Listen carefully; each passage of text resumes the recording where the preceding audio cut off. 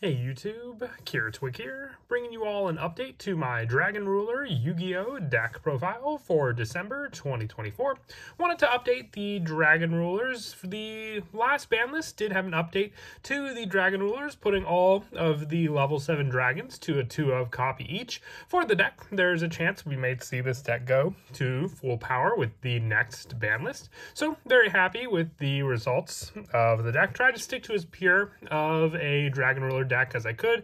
I know a lot of uh, decks like to mix in the Kashtira engine with it as well for the level 7 power that both decks have, but tried to stick with just the Dragon support and some of the newer cards from the Rarity Collection Bonanza that we have as well to work with now for the Banish power of the deck. So let's go ahead and get started with the deck profile.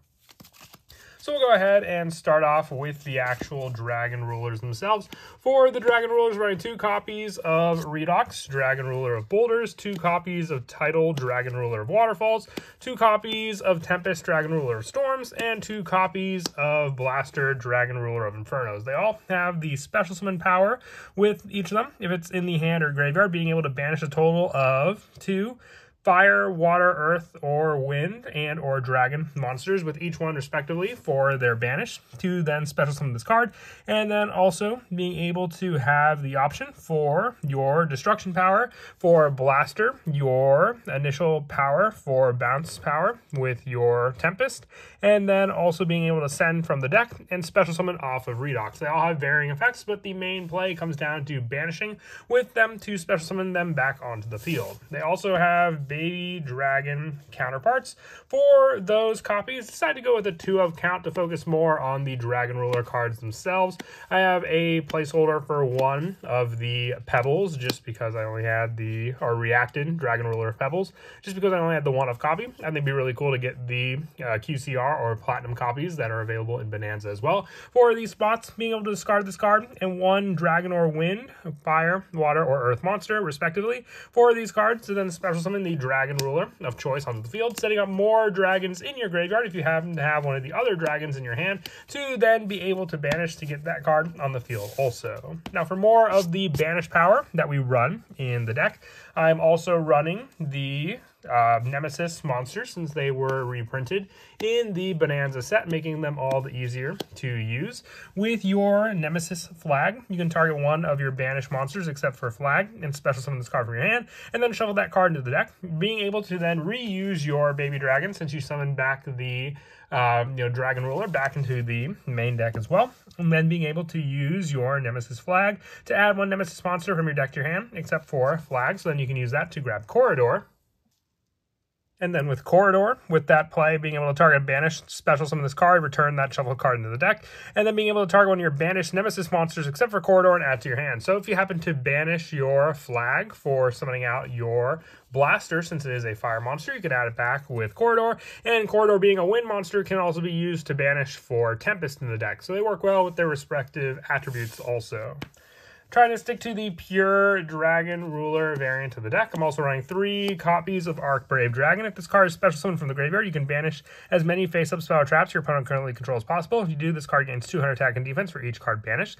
And once per turn during the standby phase, this card's in the graveyard because it was sent there last turn. You can target one level 7 or 8 Dragon monster in your graveyard except for Arkbrave Dragon and special summon it. So the main play with Arkbrave Dragon is to special summon out more resources. Being another Dragon-type monster, you can use that play to then be able to have that special summon of another dragon monster in your graveyard. Let's say you use one of the dragon rulers for an extra deck summon and it's in the graveyard. If you sent it off of Arkbrave Dragon, you can then summon it back onto the field as well. And then being able to have the option with your special summon power, depending on the dragon monster that you summon out onto the play, you can use the return option and then have this card be able to use the special summon power of a monster in your graveyard to summon back and have that boosted power from all the banished monsters also. I'm also running the uh, Rose Dragon lineup, or a small Rose Dragon lineup for the fact that they are dragon monsters as well, and more of a tuner option to use in the deck. Now, the Blue Rose Dragon can be Roxy Rose Dragon just as another better special summon option off of Red Rose Dragon in the deck also. And for the spells, I run two copies of Super Rejuvenation. During the end phase of this turn, this card is activated. Draw a number of cards equal to the combined number of dragon monsters you discarded or attributed from your hand or field this turn. So the more that you sent to the graveyard, the more you'll be able to draw off of Super Rejuvenation for your different Dragon Ruler monsters. So all the better with the baby dragons for the discard of more and more dragon monsters to give you draw power off of this spell. And for some of the one-ups for the spells as well, the one copy of Dragon Ravine, because we do have Romulus for our Dragunity monster in the extra deck to be able to add this card, which can help to set up more and more dragon monsters in the graveyard. The one Basal Rose Shoot for the special summon power of a Rose Dragon monster from our hand or graveyard onto the field again. Monster Reborn just to grab more dragon resources back to the field. The one copy of Triple Tactics Talent, the one Gold Sarcophagus, and the one Call by the Grave to finish off our spells.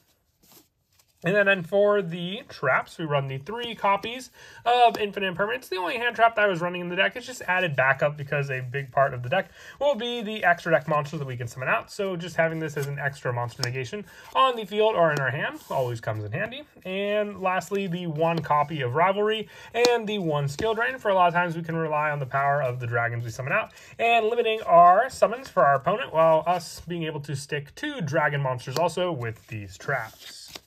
For the extra deck, we have the main go-to boss monster of the Dragon Rulers for the extra deck, being Blaze, Supreme Ruler of all dragons. It'd be really cool if we can get some of the other elemental dragons, which I'm sure we may see later in the future as well. Needing two level 7 monsters, once per turn you can detach one material from this card, destroy two cards, one from your hand or field, and one your opponent controls.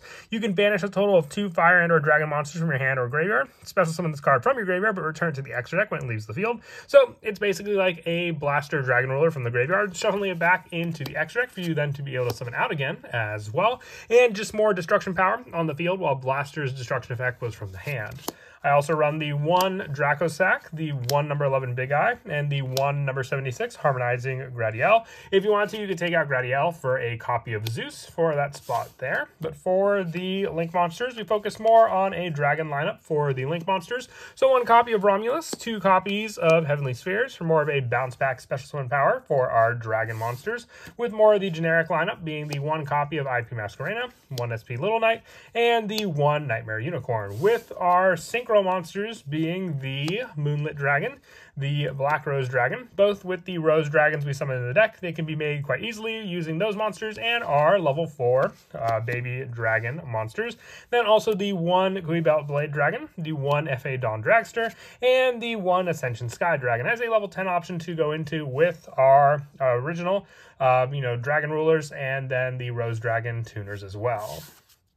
And then as for some of the go-to plays in the deck, as I said before, the setup with your baby dragons and your other dragons as well, being able to discard them in a dragon type monster and or the same attribute to then grab the needed baby dragon of choice can be a lot of the setup needed for your summon of your other dragons in the deck.